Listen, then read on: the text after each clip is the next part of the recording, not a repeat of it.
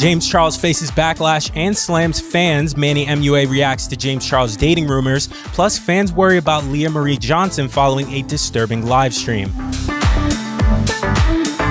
Chad Teppert's new track, Loser, pretty fire. Oh, hey guys, it's DeVante for Hollywood Life with your YouTube roundup, starting with a big happy birthday to Turner Tenney, aka Tfue, who turns 22 today. The Fortnite God had a little pre birthday stream yesterday, during which he unwrapped an unexpected gift from a friend.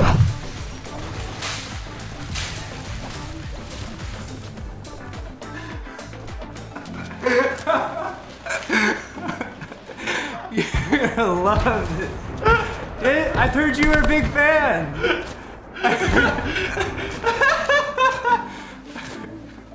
Now I'm curious how he would have reacted if he was gifted Ninja's new Adidas. And speaking of Ninja's new kicks, the adult sizes of the collab reportedly sold out in 40 minutes, which is a pretty big middle finger to anyone on social media that claimed that they would only be for kids. Moving on from gaming to beauty now, Manny MUA dropped a new video last week addressing some of the rumors spread about him, including one that he allegedly hooked up with James Charles. The next rumor is that I'm dating or hooking up with James Charles. So,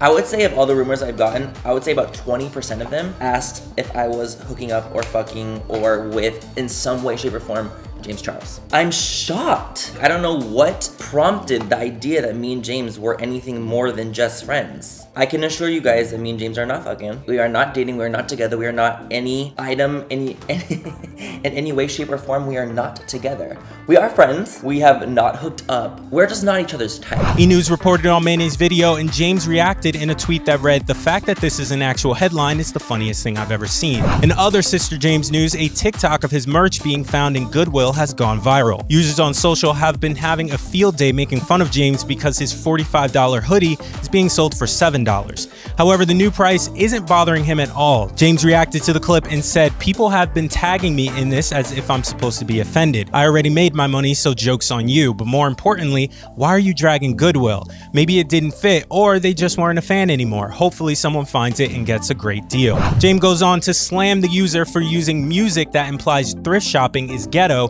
and continued his slamming later in the night, defending himself against, quote, straight boy punchlines. Sister James said, in part, I've had enough of edited DMs and fake dating app conversations. Some of y'all are far too ugly to get my attention, and lying for clout is even uglier. Cut it out. And it didn't stop there for the beauty guru because the next day, James found himself being dragged for allegedly saying the N word in an Instagram story. The clip in question shows James out celebrating the new year and singing along to Saweetie's My Type. Yesterday afternoon, James took to Twitter to react to his first cancellation of 2020 and said, Turn up the volume and listen, I skip over it. How stupid would it have been to confidently record a video of me singing the N word and still have it up the next morning? But okay, let's talk about Lia Marie Johnson now. She first began worrying fans back in May 2019 with a number of Instagram live streams that left her fans confused and very worried that she might have a drug problem. She continued to worry fans on December 24th with an over two hour long live stream that contains what some viewers call disturbing behavior. Now the worry has reached a fever pitch following another Instagram live from the singer where she appears to be intoxicated,